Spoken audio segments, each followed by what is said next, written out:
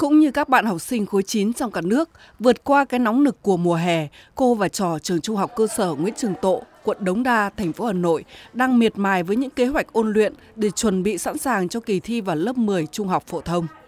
Phòng đã chỉ đạo các cụm chuyên môn xây dựng một cái chương trình thi thử cho các con học sinh à, để từ đó các con có được cái kinh nghiệm cọ sát và um, rèn luyện về mặt tâm lý, về mặt kỹ năng, về mặt kiến thức của mình. À, đó cũng chính là dịp để các thầy cô giáo có thể tiến hành điều chỉnh kế hoạch dạy học của mình và cha mẹ học sinh cũng nhận ra được cái năng lực à, thực tế của con, từ đó có thể là tư vấn à, hỗ trợ con trong việc định hướng đăng ký nguyện vọng thi vào trường trung học phổ thông. Đến giờ phút này thì chúng tôi nhận thấy là cả cô và trò thì cũng đều đang rất là cố gắng và chúng tôi cũng tin rằng là năm nay mặc dù nó rất là đặc biệt nhưng chúng tôi cũng sẽ biến những cái khó khăn những cái thử thách đấy thành cơ hội và tôi hy vọng trường tôi sẽ có một cái mùa thi thành công.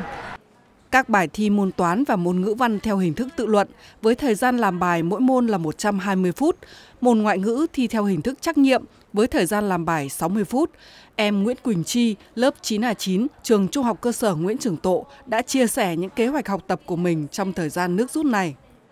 Với cái thời gian này thì con nghĩ là các bạn nên cũng nên kiểu gọi là với, với môn văn thì con nghĩ là nên làm những cái sơ đồ tư duy gạch ra những ý chính học nó sẽ rất là dễ hơn hơn là học phải học những cái đoạn dài. Ờ, môn toán thì con nghĩ các bạn cũng sẽ phải dành nhiều thời gian để làm đề hơn để có thể um, quen với các dạng bài của môn toán còn môn tiếng anh thì các bạn cũng nên dành nhiều thời gian để um, uh, học những từ mới. Việc giảm tải chương trình học trong thời gian dịch bệnh và quyết định giảm bớt môn thi thứ tư xuống còn 3 môn của Ủy ban nhân dân thành phố Hà Nội đã làm giảm bớt áp lực cho các em học sinh và thầy cô giáo. Bút được môn thứ tư Thế hơn nữa là trong quá trình của văn toán Anh đó thì chúng tôi cũng đã được uh, trên giảm tải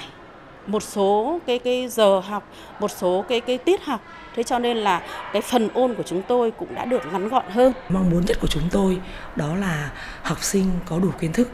các con còn vững vàng bước vào kỳ thi uh, trung học phổ thông năm 2020 2021 một cách tự tin nhất.